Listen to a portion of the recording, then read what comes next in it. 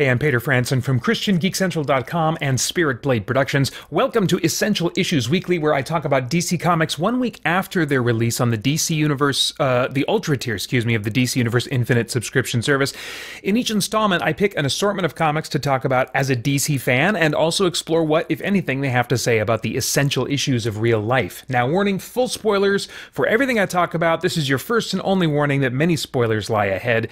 Right now, we're, look- we're looking at comics originally released to the Ultra tier February 13th, 2024, originally published January 16th, 2024. And first from that group is Wonder Woman number five. I have really been enjoying this run by Tom King. And in this issue, Wonder Woman realizes that pretty soon it's going to be her versus the US government. It's going to be a big old mess. And she wanted, she tries to ensure in this issue that those closest to her do not get caught up in the mess along with her. She's trying to protect them from that. And so she visits uh, several key members of her supporting cast and goes through these sort of contests with them, slightly reminiscent of the contests that she went through to represent Themyscira to the world. Um, to but to determine in each of these interactions whether or not uh, her her companions, her friends, will uh, agree to stay out of this. If she, if Diana wins the contest, they stay out. If they win, then Diana has to allow them to get into the thick of things with her. I think it, it functions as this really nice kind of reintroduction or just kind of touching base with Diana's supporting cast, not necessarily to refamiliarize uh, us with them, but to freshen up in our minds her relationship with each of these women, including uh, Cassandra Sandsmark, I think is her name, um, who's the current well, is she the current Wonder Girl? I can't remember. Anyway, there's a new Wonder Girl, and I have I can't even remember what her name is. I just read the issue, uh, and then Donna Troy. So these are the three like kind of uh, uh, pseudo sidekicks, I guess, that she's had over the years. But it's a, it's a neat way to have her interacting with these characters who she loves very deeply, and yet they're kind of in conflict with. And so it reminds us of sort of uh, Diana's power levels compared to her supporting cast, and really establishes her as, as the as the top of the heap in terms of superheroes coming out of uh, Themyscira lore. But at the same time, even while creating that conflict, it reminds us constantly of her love for these women and their love for her. Uh, something that's continuing in Tom King's run that I find interesting and appealing, and yet increasingly, uh, I think, incompatible with how Wonder Woman has been written, is her um, her command of the English language. The way her dialogue is written in Tom King's run makes her makes it sound like English is not her first language, and really leaning into that to the point where I'm like, uh, well, there's there's a uh, a part of this issue here where she's talking to uh, Cass, and she says, "I was not born as you were. My English is not always so perfect. Um, I have never understood this." Almost, you know, and so the, the, the I mean, I don't want to get in the weeds of that conversation, but to this at this point, they're really leaning into this, and I I love it because I think it makes her stand out from other characters in the DC universe. Just culturally, she's a little bit more of a fish out of water. I love all that kind of stuff. And yet, I'm like, um, I could point you to, I mean, I don't know how many comics just in the last five years alone where she has perfect command of the English language and sometimes really seems fairly Americanized, you know. Uh, so, you know, I just kind of have to shrug, I guess. That's comic books for you. Moving on, though, to Jay Garrick The Flash, number four. This is probably the comic that I most enjoyed reading as a fan this week. It's really digging into Jay Garrick's past, even though some of it's being retconned, of course, to introduce his daughter Joan but we're also introduced to like a retreatment of Jay Garrick's origin in this issue. Of course, uh, famously among DC fans, he was exposed to hard water fumes and from that gained the powers of super speed. And of course, during the Wally West, Mark Waid era, uh, th- that was just a, kind of described as uh, like a, a catalyst for the Speed Force to really make a connection with Jay Garrick. It's really all about the Speed Force, yada, yada, yada. But they lean back into the science of Jay Garrick's origin, but also recontextualize what we're talking about in, in terms of this hard water business. Now, the whole hard water thing has been made fun of before. In fact, I don't remember where, but I think there was a comic where somebody was like, hard water, isn't that just ice, you know? um, and the way I'm used to hearing the term hard water is when it's there's a high there's high mineral content um, in the, the your drinking water or the water that you shower with or whatever. And so the way they're using it here, I'm like, boy, they're really leaning into hard water. Is is this becoming its own thing in the pseudoscience of the DC universe, where they're talking about something that's different from just water with a lot of minerals in it, or what? Um, but they surround it uh, with other details that make the hard water aspect far less material to uh, Jay Garrick's origin of his powers. What we learn in this issue is that a scientist who was uh, trying to develop uh, the ability to make humans superpowered in light of 1938's Green Lantern coming on the scene, um, he uses Jay Garrick as an unwitting human uh, trial for some experiments that he's working on and actually orchestrates the quote unquote accident that resulted in Jay Garrick absorbing these hard water fumes. And there's a bunch of other elements going on. It's not just hard water fumes. That was the catalyst and kind of like the main, the, the vehicle for the stuff to get into Jay's lungs. But there's a bunch of other pseudoscience going on. And I appreciate them revisiting and just complicating his origin just a little bit more. But even so, the way they're using the term hard, hard water is a little bit funny. But what I appreciate maybe even more than them kind of like retracing the pseudoscience of his origin is bringing this this scientist who I think becomes eventually the villain, Mister Element, uh, some something Element, I think. And I was like, wow, has that name really not been taken yet? because he's a new villain that is part of Jay Garrick's, you know, now retconned past.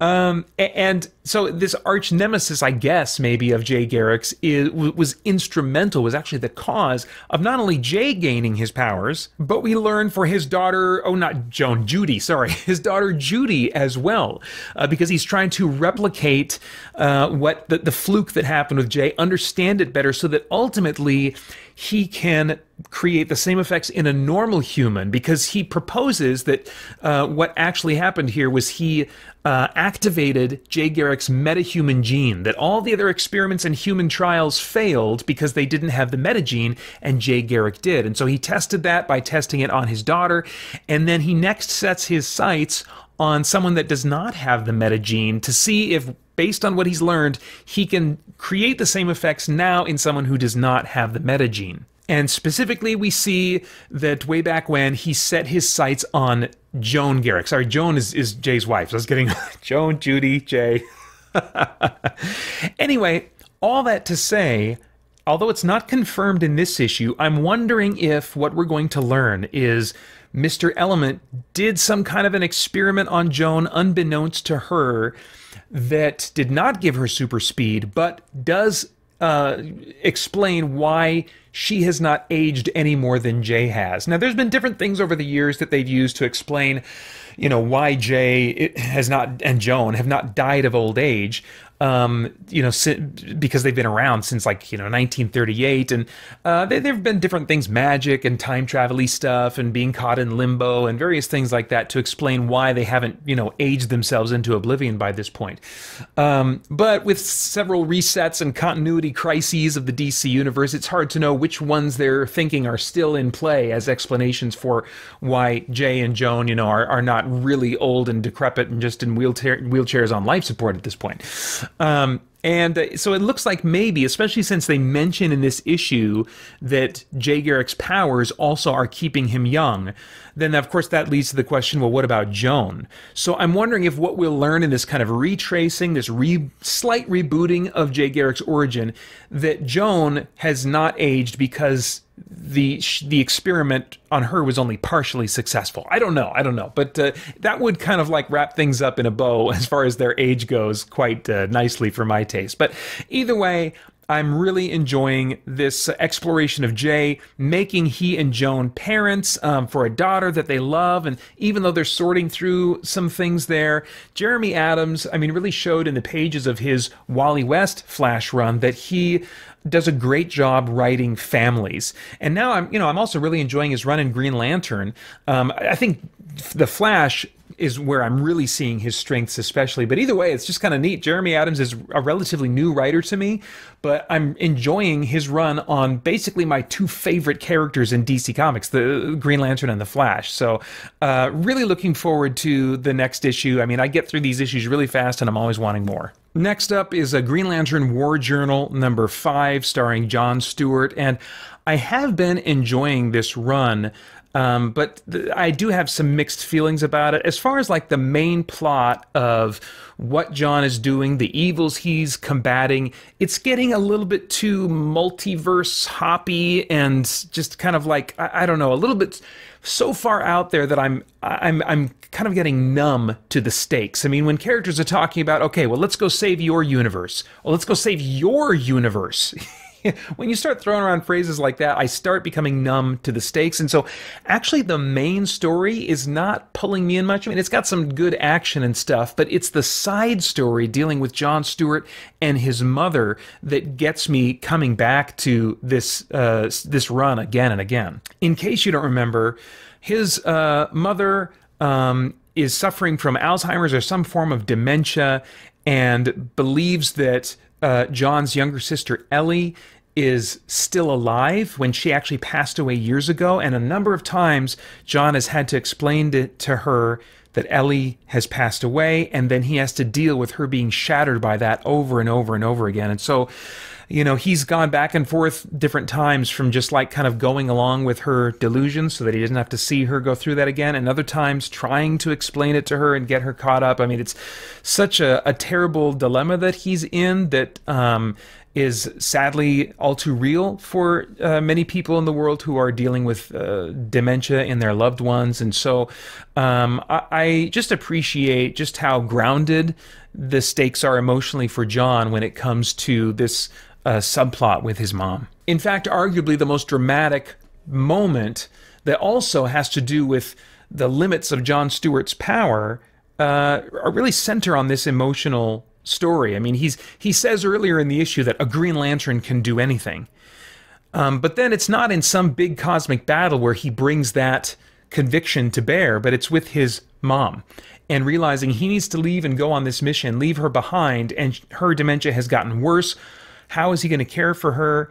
And looking at an old old photo of his mom and his sister and them together, he says a Green Lantern can do anything. He says that three times um, and then summons a ring construct that is completely full color. Now, this is something that's been explored a little bit more. We've seen this in the pages of the main Green Lantern book that Jeremy Adams is reading. I'm not sure how I feel about it. Um, I think as a limitation, being you know only being able to create green constructs um, is fitting.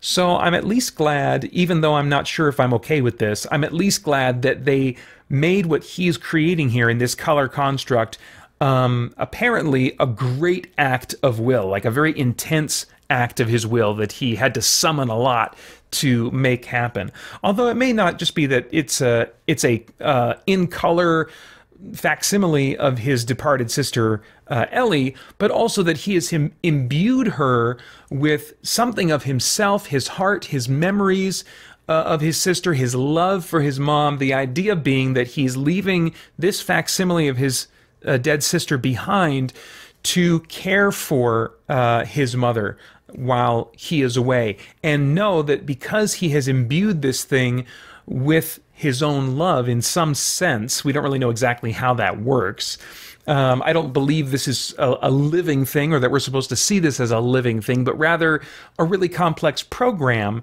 that is meant to simulate the loving choices that John would make were he to stay behind with, with his mother, and also uh, uh, simulate what he remembers of his sister Ellie. So uh, it's an interesting choice. It'll be interesting to see where they go with it, but it's a nice touching moment, very grounded. Um, before John goes off and becomes very ungrounded to save the multiverse or whatever the crap he's up to. Finally, we have Batman Superman World's Finest number 23, part 4 of the Return to Kingdom Come storyline that is exploring uh, the origin of Gog, the main kind of like antagonist featured in the classic Kingdom Come story.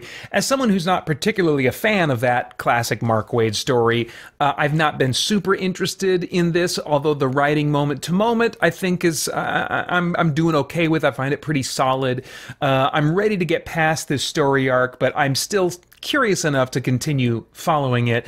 But really, what got my attention in this issue, far more than my engagement with it as a as a DC nerd, was a particular um, exchange between. Well, let me get to it here. Batman is in the midst of fighting David or Gog. Uh, or maybe it's no Magog is his name. I think Gog is the guy that created him, and Magog is the, the villain from Kingdom Come. Anyway, so David is his is his regular, you know, human name. He's trying to reason with David to come away from, you know, all that he's got caught up in and this kind of villain that he's becoming. And he says, David, Superman thought of you as a son. Stop wallowing in self pity and remember what did he tell you over and over again? That no matter what mistakes you might make, he believes in you. That you're worthy of his respect just by being who you are. That at heart, you're a good person and you deserve the chance to be a great hero. Now, admittedly, I've not been like really focused in on this story well enough to uh, kind of give some thoughts on this particular situation and whether or not what Batman is saying about him is true. But I do find this language to be representative of of uh, the kind of language that's used today when uh, people are talking about the nature of each of us as humans and the kinds of things that, from a secular or a pop philosophy standpoint, um, people like to think of themselves and will kind of tell to say to each other as well. First, he says, no matter what mistakes you might make, uh, I think sometimes we use the word mistakes when really what someone has done is they've sinned. They have done wrong. Um, but we don't call it that. Those words are too harsh. And uh, largely, I think we have trouble thinking of what we've done as wrong or sin um, when we don't see a means of forgiving uh, and and reconciling that. You know, um, I think Christians are more comfortable talking about having sinned ourselves or having wronged ourselves, or at least we should be, because we are relying on the the grace, the forgiveness, the payment for our sins afforded to us uh, by Jesus. But in the absence of that, I think the tendency is to reduce the severity of our uh, of our sin and our wrongs to a word like mistake, which sounds a little bit like an, an accident, like an oopsie daisy, didn't do it on purpose, not really my fault, you know. Uh, but a lot of things that we label in ourselves as mistakes uh, are actually sin and they're actually wrongdoing. And uh, as Christians, we should be first in line to, to, to not use that language of ourselves and say, I made a mistake, but to say, you know what, what I did was wrong and what I did was a sin. Can you please forgive me for that? The next thing Batman says is, You're worthy of his respect just by being who you are. Now, I'm not sure what Batman means by this. Depending on what he means, I could either agree or disagree with this as, a, as something that could be said of anyone. Um, if what he means by being who you are has to do with behavior, actions, a certain consistency of actions, um, then I think people are worthy of various degrees of respect based on that, you know. Um, but if what he's saying here is you're worthy of respect, you know, no matter what, the, the, and like that who you are is a person. And so, as a person, you are worthy of respect. I can get on board with that. And I think as Christians, we especially have grounding for that because all people are created in God's image and are imbued with immense value because of not only that, but because of the fact that He offered up Himself. Uh, to pay for the sins of all the world so that we could be with him forever. I mean, like that, that's stunning the more that I meditate on that and really contemplate the ramifications of that. If that doesn't speak to the immense value of every human being, uh, I don't know what does. Um, I don't think philosophically that in particular is what Batman has in mind. Um, but I mean, that's where I would go if I were to try and frame this in a way that I that I would agree with that of the idea of a person, any person being worthy of respect, no matter what they've done, because they are an image bearer of God. I can get on board with that. Now, respect is an approval. That doesn't mean we're going to approve of everything that someone does or says or thinks because they're an image bearer, but granting them respect and dignity and value by nature of them being made in the image of God, loved by God, is something that we should be about as Christians, no matter who it is that we're we're talking to or thinking about. Then finally, um, this is almost like advertisement language. He says, "At heart, you're a good person." Well, what does that even mean? That's that is such a vague, nebulous term. I don't even know what that means. You're a good person and you deserve the chance to be a great hero. A lot of this kind of deserving language, that sounds like an ad campaign. You deserve a break today. You deserve this. You deserve that. I'm like, uh, do you even know me? what are you talking about? I de- how can you say that? How can you say that I deserve, you know, to get f- f- $5 off of my meal at Denny's or Whatever. In this case, does David deserve the chance to be a great hero? Maybe. I don't really remember the details. I think he made some really bad choices. Um, some things he did because he was influenced to do, so there's that to, to take into consideration as well. But I do just tend to notice this kind of entitlement language, this deserve type of uh, language that finds its way into writing and into our thoughts of ourselves. And I think we do need to be on guard against applying too much of that deserve entitlement language um, to ourselves. Anyway, uh, my ring choice for this week is the orange ring of avarice or greed because I am greedy for more. I, especially when it comes to, let's see, what were the ones that are Wonder Woman and The Flash and Jay, Jay Garrick The Flash, and to some degree Green Lantern War Journal. I feel like I'm just in a nice groove, the middle of these story arcs. I'm like, I am definitely digging what you're doing, and I just can't wait for the next issue. That's how I feel in particular about Wonder Woman and Jay Garrick the Flash. So, uh, having a good time with uh, at least two to three books this week and, and anxious for more. But those are all of my thoughts on comic books for now. What's got your attention in uh, the comic books I talked about today? Or maybe some comic that came out uh, to the Ultra tier last week that I haven't mentioned?